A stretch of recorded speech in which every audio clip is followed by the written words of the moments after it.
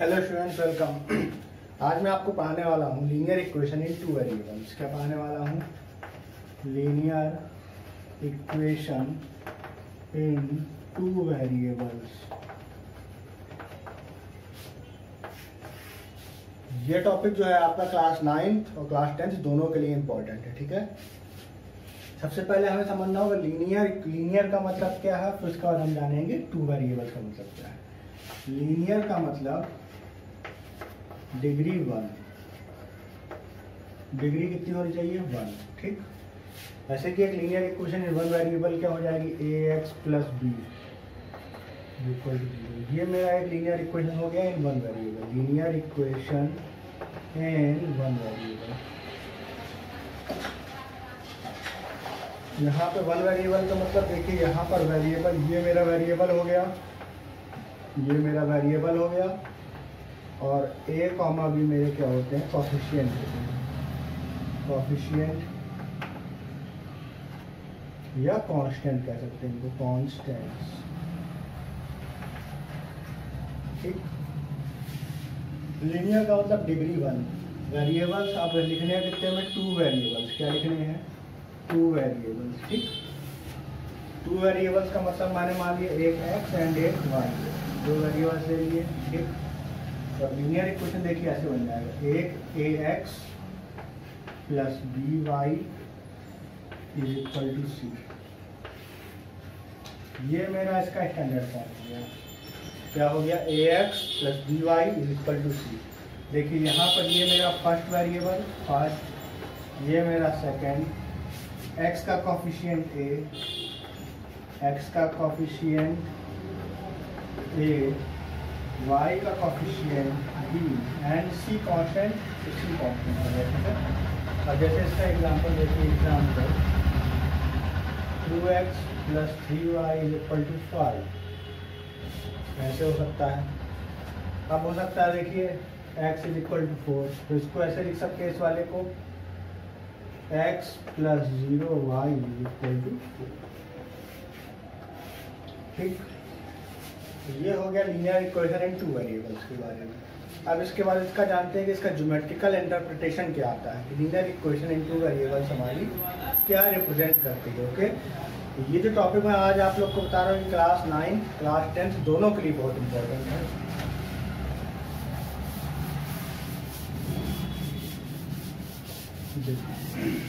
अब इसका मैं बताता हूँ, आपको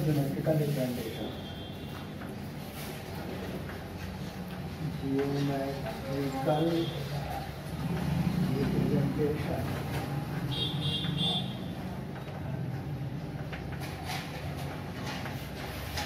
geometrical representation. Geometrical representation देखिए मान लीजिए linear equation in two variables दे दी मैंने a x a x plus b y is equal to c मैंने एक लीनियर इक्वेशन दे दी ओके तो इसका मतलब क्या हुआ? इसका जो मेट्रिकल इंटरप्रिटेशन देखिए। अब इसका ग्राफ मुझे बनाना तो टेबल बनानी पड़ेगी ग्राफिकल टेबल ठीक? मैंने ग्राफिकल टेबल ले ली। एक्स वाई एक बार एक्स को ज़ीरो ले लेते हैं, एक बार वाई को ज़ीरो ठीक? जब मैंने एक्स को ज़ीरो ले लिया y is equal x zero तो वाई ये ज़ीरो हो गया। नहीं, क्या हो जाएगा? Zero plus b y is equal to c y is equal to c upon b.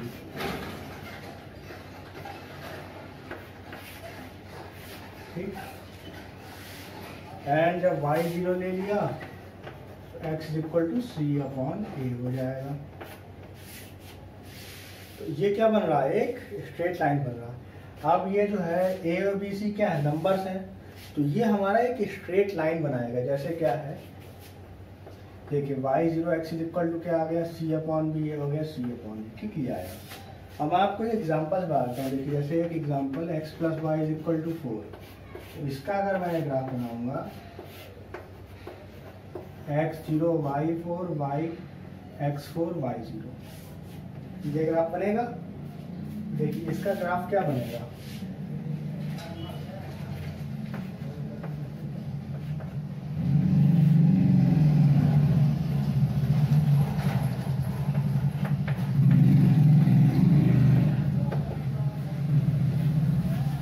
ये तो हमारा क्या पता चला देखिए ये एक लाइन के पॉइंट ये पॉइंट एक लाइन पर आएँगे.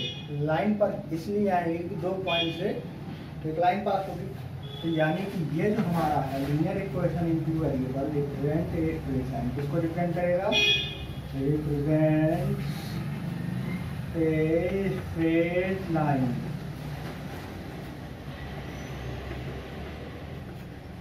यानी कि ये हमारा एक लीनियर इक्वेशन एक स्ट्रेट लाइन को रिप्रेजेंट करेगा. ठीक? अब क्या है देखिए, इसके बाद अब क्या आता है?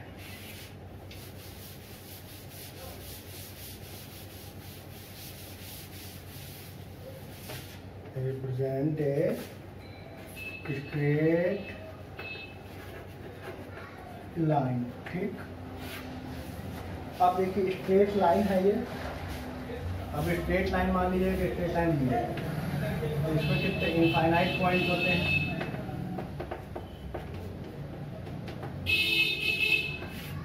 इनफाइनाइट पॉइंट्स होने का मतलब ये जो लीनियर इक्वेशन है, इसके, इसको सेटिस्फाई करने वाले इनफाइनाइट पॉइंट सेटिस्फाई करेंगे। इनफाइनाइट पॉइंट सेटिस्फाइड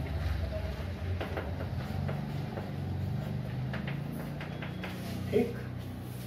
इस लीनियर इक्वेशन को इनफाइनाइट पॉइंट सेटिस्फाई करेंगे। और वो सारे पॉइंट्स किस पर आएँगे? स्ट्रेट लाइन पर आएँगे।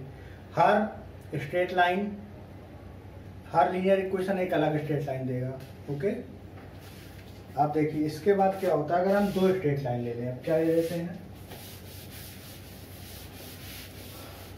अब देखिए, अगर मैं दो स्ट्रेट दो लीनियर इक्वेशन ले क्या कर रहा हूँ मैं आप टू लीनियर इक्वेशंस को ले ले रहा हूँ, ठीक है? टू लीनियर इक्वेशंस को लेने का मतलब इसको मैंने बी वन इसको सी वन कर दिया। A two x plus b two y is equal to c two मैंने अब क्या किया? दो इक्वेशन ले लिया। मान लीजिए पहला वाला मेरा लाइन L1 बना रहा है। ये मेरा लाइन L2 बना रहा है, ठीक? मेरे पास दो लाइन आ गई तो लाइन के केस में क्या होता है? देखिए लाइन दो लाइन अगर दी गई पहला केस हो सकता है L1 L2 पहला केस पैरेलल नहीं। ठीक? दूसरा हो सकता है intersecting L1 L2 intersecting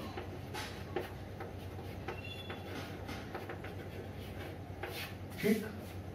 line के केस में क्या हो सकता है? एक पैरेलल लाइन हो सकती है, दूसरा इंटरसेक्टिंग हो सकता है, तीसरा कोइंसिडेंस हो सकती है।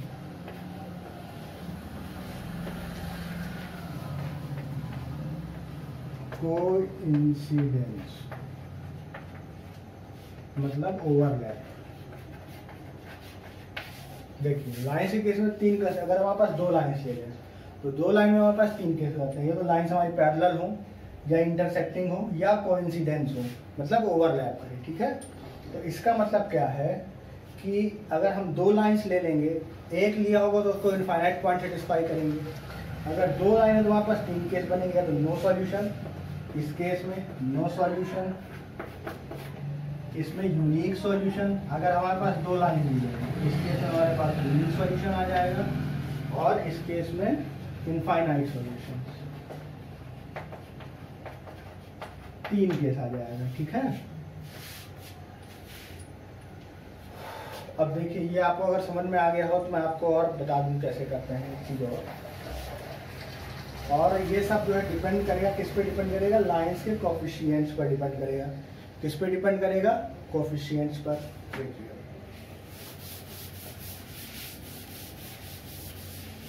अब देखिए, अगर हमें सॉल्यूशन मिल रहा है तो कंसिस्टेंट अगर नहीं मिल रहा है तो ये इनकंसिस्टेंट इनकंसिस्टेंट क्यों इनकंसिस्टेंट नो सॉल्यूशन ठीक? अगर सॉरी ये दोनों हमारे कैसे हो जाएँगे? कंसिस्टेंट क्योंकि हमें सॉल्यूशन मिल रहा है। सॉल्यूशन हमें किसमें किसमें मिल रहा है? इंटरसेक्टिंग एंड कोइंसिडेंस लाइंस में ठीक है? अब देखिए कंडीशन कंडीशन में आपको बताता हूँ कंडीशन क्या होती है। देखिए। ओके okay, दो मिनट रुकते हैं। देखिए फ्रेंड्स हमें क्या है? तीन केस आया। एक पैरेलल लाइंस नो सॉल्यूशन जब दो लाइंस दी गई दो लाइन से इक्वेशन क्या होता है? A one x plus b one y is equal to c one a two x plus b two y equal to c two ठीक? तो अगर ऐसा दिया गया होगा, क्या दिया गया होगा कि a one upon a two is equal to b one upon b two not equal to c one upon c two तो लाइन्स मेरी कैसी होंगी? इनकन्सिस्टेंट यानी कि नो सॉल्यूशन यानी कि पैरेलल लाइन्स अगर दिया गया हो कि a one upon a two not equal to b one upon b two तो लाइन्स मेरी होंगी इंटरसेक्टिंग एंड सॉल्यूशन मेरा मिलेगा यूनिक अगर तीनों कॉफिशियंट्स का रेशियो बराबर है तो लाइन्स मेरी कैसी होंगी? ओवरलैपिंग एंड उन केस में मिलेगा इनफाइनाइट सॉल्यूशन अब मैं आपको देखिए, ये कंडीशन नोट कर लीजिए तीनों की, ठीक है? देखिए, ये मेरा इसका हो गया फ़र्स्ट वाले का, ये मेरा सेकंड का हो गया एंड ये मेरा थर्ड का हो गया। अब मैं आपको इस पर एक एग्ज़ाम्पल बता देता हूँ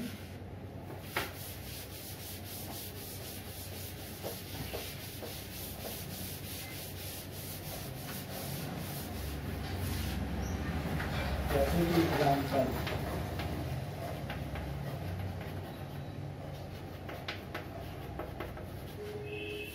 देखिए इसका ग्राफ ग्राफ से बता सकता हूँ, देखिए a one one a two one b one one b two one c one four c two two a one upon a two equal to one is equal to b one upon b two is equal to one and not equal to c one upon c two जिसकी value कितनी है to क्योंकि four upon two क्या हो जाएगा? Four upon two to हो जाएगा। तो लाइंस कैसी हो गई? पैरल कैसी हो गई? पैरेलल ठीक। अब देखिए इसका ग्राफ कैसा बनेगा? ग्राफ्स के थ्रू ही समझा देता हूँ मैं। X zero y four four zero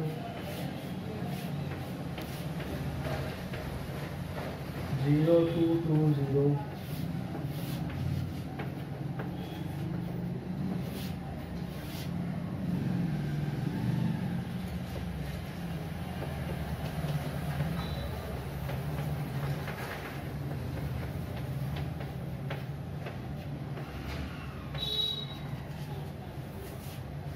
ये दोनों लाइन देखिए पैरेलल लाइंस हो गई, ये इसका ग्राफ हो गया।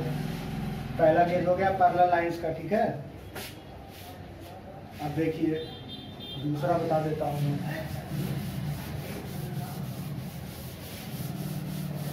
तीनों लाइंस का मैं आपको आज एक केस दे देता हूँ, फिर उसके बाद आगे बढ़ते हैं। देखिए।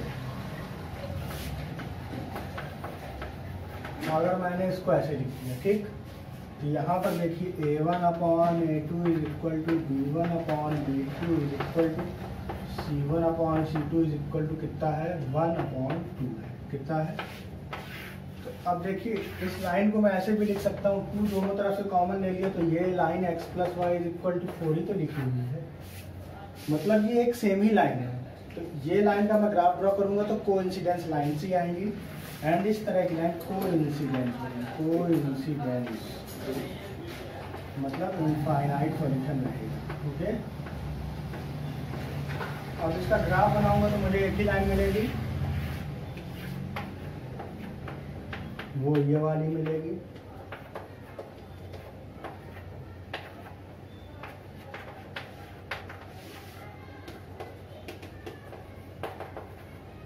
दोनों लाइंस मेरी एक के ऊपर एक आएँगी। एक के ऊपर एक आएँगी इसलिए मैं इसको थोड़ा मोटा कर देता हूँ।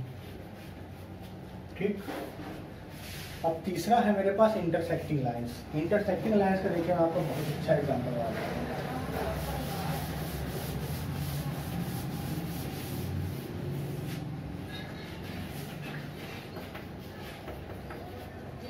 x minus y is equal to x plus y is equal to two ठीक है? इसका देखिए मैं ग्राफ कर देता हूँ, सबसे पहले पहले वाले का तो मुझे पता है ये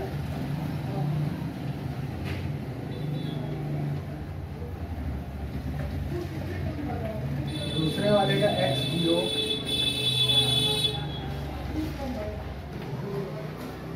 Y zero x two x zero x zero y minus two ठीक है?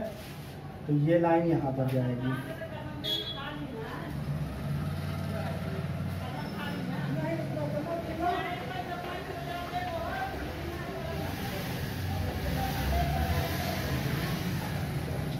देखिए, ये इंटरसेक्टिंग पॉइंट हो गया। क्या हो गया? इंटरसेक्टिंग पॉइंट यानी कि ये मेरा सॉल्यूशन पॉइंट हो जाएगा। क्या हो जाएगा? सॉल्यूशन पॉइंट अब देखिए सॉल्यूशन निकालना कैसे देखिए, एक मुझको लाइन दी गई x plus y is equal to four एक दिया गया x minus y equal to four एक मैं सिंपल तरीका देखिए, मुझे दिख रहा है ऐड कर दूँ। Two x is equal to six, x is equal to three. X three में गया, एक्स किसमें भी थ्री रख दिए? देखिए, x plus y is equal to four है, three plus y is equal to four है, यानी कि y is equal to one. ये सॉल्यूशन मुझको क्या मिल गया? X three and y one. अब देखिए, ये वैल्यू दोनों का सेटिस्फाई करेगी three one three one two three plus one, three. अब इनका रेशियो देखिए। A one upon a two is equal to one आ रहा है। B one upon b two is equal to minus one आ रहा है। तो अब मुझे ये देखिए, यहीं पे बराबर नहीं आ गया। क्या आ गया ratio a one upon a two not equal to b one upon b two तो लाइन्स इंटरसेक्टिंग हो जाएँगी यूनिक सॉल्यूशन और सॉल्यूशन आपको निकालने का तरीका अब मैं आपको नेक्स्ट लेक्चर में बताऊँगा। आज मैंने उसका बेसिक कॉन्सेप्ट बता दिया है कि उसका बेसिक कॉन्सेप्ट क्या है। Okay students thank you students